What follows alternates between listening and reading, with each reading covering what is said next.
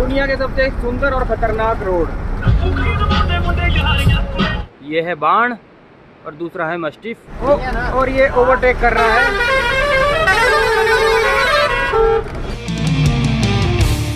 हरिओम दोस्तों, अभी मैं हिमाचल प्रदेश के किन्नौर ज़िले के नाको गाँव में हूँ। तो इतने सारे पत्थरों पे नक्काशी कर दी है इन्होंने, देखिए।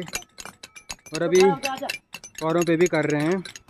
इसको कहते हैं? स्तूपा है ना हमारे भाषा में बोलते हैं छोपटिन। छोकतेन बोलते हैं हाँ। ये मंदिर तो बहुत हज़ारों साल पुराना है। हज़ारों साल पुराना? हज़ारों साल पुराना है। इसको बनाया गया है हम, हम आ, क्या कहते हैं आ, लोचावा रिंचिन जंगबू नामक लोचावा का मतलब होता है अनुवादक होते हैं। अनुवादक। हाँ तो पहले जो है एक आ, लामा जी थे आ, उन्होंने ही बनाया एक रात में बनाया है। आप एक रात में? विश्वास नहीं करेंगे हाँ। अकेले? अकेले एक रात में तैयार किया तिब्बत बॉर्डर कितना दूर है यहाँ से? खा ब्रिज देखा सतुल संगम। जी जी जी देखा संगम। वहाँ से आगे कम से कम पच्चीस तीस किलोमीटर होगा। बस? हाँ वहीं से होके हाँ, आया आज हम सुबह? अब यहाँ से ऊपर जो पहाड़ी देख रहे हैं आप हाँ हाँ। हाँ, उसी के पीछे तो तिब्बत है। अच्छा इसके पीछे तिब्बत है पहाड़ियों के पीछे? यहाँ आग में औजारों को तीखा कर रहे हैं नकाशी करने के लिए देखिए और हम चलते हैं अभी अंदर मंदिर में।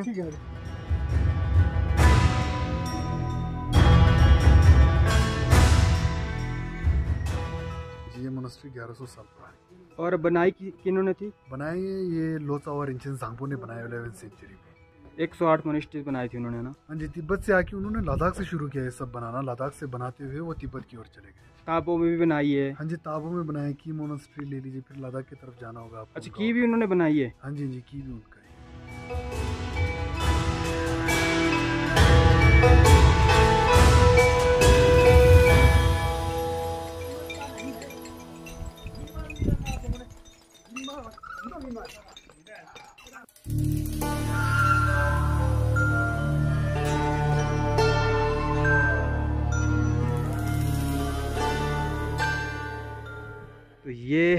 विलेज और इसके पीछे है नाको लेक और सामने पहाड़ों पे पड़ी है स्नो।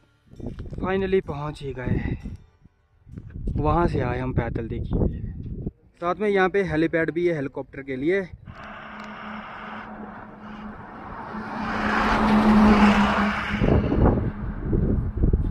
यहाँ से लगभग सात किलोमीटर नीचे ट्रक से सीमेंट खाली हो रहा है, जिसमें हम आए हैं। उस्ताद भी नीचे ही है ट्रक वाला।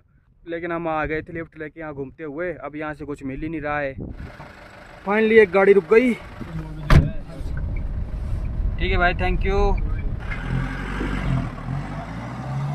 यहाँ पे सिर्फ़ अभी हमारी ही गाड़ी बची देखिए खाली हो रही है।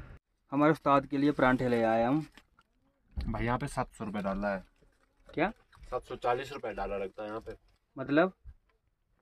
मतलब हम गाड़ी उतारने कैसे 240 देते हैं ना 240 बैग होते हैं। हम्म, हम्म। यहाँ पे 740 लगता है। कितने बैग का? 240 बैग का। ज़्यादा है ना? बहुत ज़्यादा है। ज़्यादा है। हमारा कोई इतना मिला नहीं होता जितना यही लग जाएगा। तो दोस्तों हमारी गाड़ी अनलोड हो चुकी है और हम किस्मत वाले रहे कि हमारी ही गाड़ी लास्ट यहाँ पे उतरी। इसके बाद ये लोग गाड़ी नहीं उतार रहे हैं। जो भी गाड़ी उतरेगी वो कल उतरेगी। तो अभी यहाँ से निकलेंगे। आप लोगों को वादियों का नज़ारा दिखाएँगे। देखिए आगे। चलो चलो चलिए चलिए। ये इसका मित्र मिल गया था इसको। ये देखिए ये भी इसी साइड आए थे। यहाँ मैक्सिमम जितने भी ट्रक वाले आते हैं सारे अपनी साइड के हैं। दुनिया के सबसे सुंदर और खतरनाक रोड स्पीति के लिए भी यहीं से जाते हैं।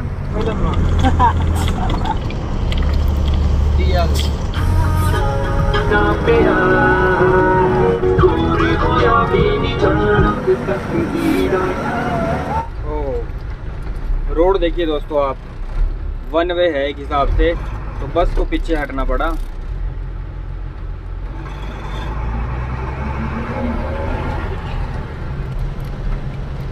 खुल जा सिम सिम। हाँ जाओ भैया। बैग दे दो। चले भाई। जाना मैं तो पियो जाना भाई। जी? पियो पियो पियो और पारी तक आगरा को जा रहे हैं रात को हम सो गए थे तो मैं व्लॉग शूट नहीं कर पाया। घर को जा रहे थे वापस रास्ते में मुझे गद्दी भेड़ पालक दिखे। घर कहाँ है जी आपके? पंद्रह बीस जी पंद्रह बीस हाँ जी हाँ जी क्या हो अच्छा ज्यूरी के पास है। हाँ जी हाँ जी क्या हो क्या हो? ये किन्नौर ज़िले में पड़ा है शिमला में? हो किन्नौर में। अच्छा आप भी इनके साथ हो? हाँ जी। चलो डाल दो।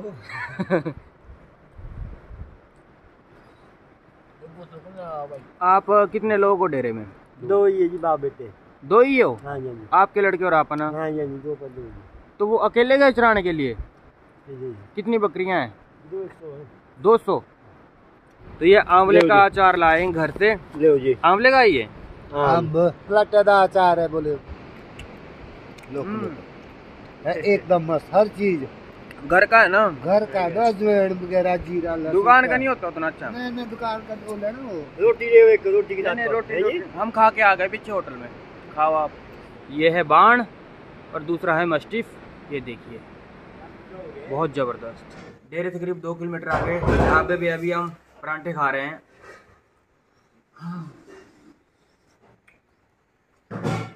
बहुत भूख लग है। वहाँ से होते हुए आए हम और देखिए सतलुज नदी कितनी सुंदर लग रही है। है ना मितुआ? इसने बालियाँ पहनी हुई है कान में। हम वहाँ खाप में गए थे। खाप से ये नदी बहती हुई आई भाई। टापरी होके, है ना, पूरा किन्नौर होके तब यहाँ पहुँची है झुंझुन। ठीक है, अब यहीं से होते हुए ये कोल डैम, बिलासपुर जाके पता नहीं कहाँ कहाँ तक जाएगी भाई। बहुत ही ये, यही हमारी बिलासपुर की शान है एक बेचारी सतलुज नदी। कई लोगों को ये खा जाती है। कई लोगों को ये बचा जाती है। इसका संगम स्थल भी तो देखा हमने। इसका संगम स्थल है खाब में जो कि किन्नौर में पड़ता है। अगर आप जाओगे तो ये नदी मेरे हिसाब से तिब्बत से आती है। मगर जहाँ पे इसका संगम स्थल है वहाँ पे इसकी ना जो क्वांटिटी है वो बहुत ही कम है। इतनी ज़्यादा मात्रा में नहीं आती है ये। वहाँ पे स्पीति नदी भी मिलती है इससे। वहाँ पे दो नदियाँ मिलती है। आगे जाके ये दो नदियाँ फिर तबाही करती हुई जाती है। हम्म, कल हमने देखा तो था वो संगम स्थल। देखा था ना? हम्म, तो वहीं पे वो दोनों नदियाँ मिलती है उससे आगे फिर तीन प्रोजेक्ट मिल, मिलते हैं जहाँ पे बिजली बनती है भाई। पहाड़ों को खुरेद दिया इन लोगों ने खत्म कर दिया पहाड़ों को। हम्म, अब चलते हैं भाई क्योंकि अपन लेट हो रहे हैं।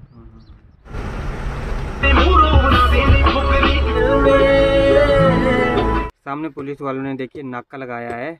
और हम करीब एक घंटे से यहीं बैठे हैं इनके सामने।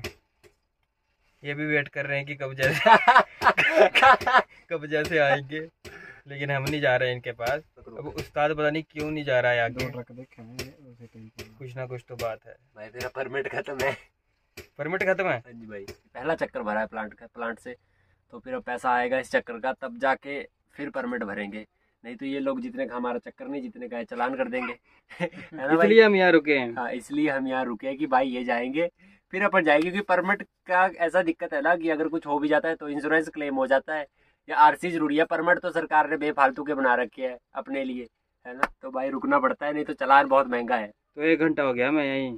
क्या करे भाई दो घंटे भी रुकना पड़ता है। ड्राइवर की लाइफ है भाई ऐसी होती है ड्राइवर को पुलिस वालों से बचना पड़ता है लोगों से भी बचना पड़ता है कहाँ जाए बेचारा ड्राइवर? हम तीनों अपने अपने फ़ोन में बिज़ी हो गए थे और अब देखा तो देखिए वो चले गए यहाँ से। तो अभी हम भी चल पड़े। लेकिन हो सकता है क्या पता आगे जैसे खड़े हो फिर से हमारे लिए। हमारा वेट कर रहे हो। उस्ताद को दूसरे उस्ताद की कॉल आई अभी कि वही पुलिस वाले थोड़े आगे खड़े हैं। तो जिसका डर था वही हुआ। अभी हम फिर से पीछे खड़े हो गए हैं। हमसे आगे जो ट्रक वाले भाई जा रहे थे देखिए इन्होंने नीचे ट्रक खड़ा कर दिया है और इन्होंने बोला कि वो खाना खा रहे हैं अंदर बैठे हैं पुलिस वाले। तो भी हम चलते हैं जल्दी से। हमने तो ये भी खोल दिया था अगला कि कोई आएगा तो बोल देगा कि ख़राब हो गया है। तो जल्दी चलते हैं। तो यहाँ पे इनकी गाड़ी खड़ी है और देखिए यहाँ पे ये खाना पानी कर रहे हैं अपना। हमारा उस्ताद तो बहुत फट्टू निकला। तो दोस्तों क्या चक्कर था कि मेरी गाड़ी में कागज़ की सीन है यार? बाकी तो कोई चक्कर नहीं है। दो महीने से प्लाट खड़ा था अपने पास पैसा था नहीं कागज़ पूरे करने के लिए। तो अभी दो गाड़ियाँ हो गई हमारी एक साथ देखिए। तो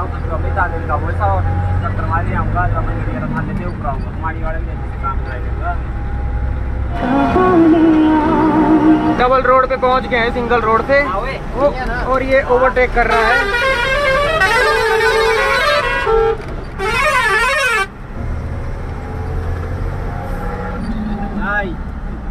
आगे जा रही है मन्नू भाई की गाड़ी। और भी तो भाई कर रहा है पीछे ब्लॉग फ़ोन पकड़ के ब्लॉग भी हो रहा है सब कुछ हो रहा है। कटिंग करवा के शाम के दस बजे के करीब मैं घर में पहुँच गया था। देखिए यहाँ पे चेरी सो रही है और यहाँ डॉली। तो अभी साढ़े ग्यारह बज रहे हैं। ये ब्लॉग मैंने एडिट कर ही दिया है लगभग। बस ये लास्ट वाला पार्ट रहा है एडिट करने को। तो इसको भी एडिट कर देता हूँ फिर जाके डिनर करता हूँ। मिलते हैं दोस्तों नेक्स्ट ब्लॉग में। हरिओम। ओए गुड गर्ल निन्नी। डॉली के पास भी चलते हैं। डोलू। ओए गुड गर्ल